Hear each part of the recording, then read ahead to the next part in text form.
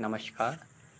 आज हम एक ऐसे योग, गो तक्र से निर्मित योग के बारे में बात करेंगे। ये आप देख रहे हैं यार के अंतर एस एस का।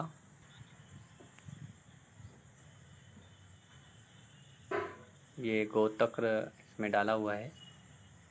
इसमें जो घटक यूज़ होंगे वो सहजन, सुरजना की पत्तियाँ नागौरी अजगंध ये आप देख रहे हैं जीरा।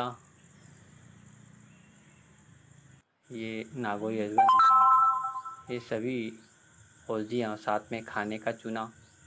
सभी औषधियों को इस अर्घ के अंतर में डाल देंगे। फिर अर्घ पात्र से इस तरह अर्घ निकालेंगे। ये औषधि बहुत बहुत सारे रोगों में काम करती है। वात के रोगों में काम करती है। लंबाई बढ़ाने के लिए जिन बच्चों की लंबाई नहीं बढ़ रही, उसमें भी ये बहुत अच्छा काम करती है। वात के रोगों में अच्छा काम करती है। पाचन संबंधी रोगों में अच्छा काम करती है। घुटने कमर दर्द नहीं वात के रोग है बहुत अच्छा काम करती है। ये औषधि में कोई प्रिजर्वेटिव नहीं होता है। तो ये गौ माता के गव्य से बनी एक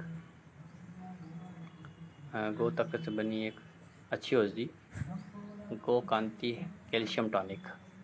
धन्यवाद